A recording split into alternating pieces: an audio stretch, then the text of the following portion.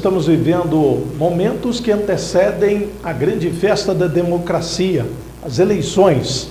Lembrando que existem regras, né, leis específicas para esse período. E uma delas é que candidatos e candidatas desde o último sábado já não podem mais ser presos. De nenhum candidato pode ser preso a menos que seja em flagrante delito. A medida está prevista no Código Eleitoral e no calendário eleitoral de 2022 do Tribunal Superior Eleitoral. A regra vale até 48 horas após o encerramento do pleito, no dia 2 de outubro.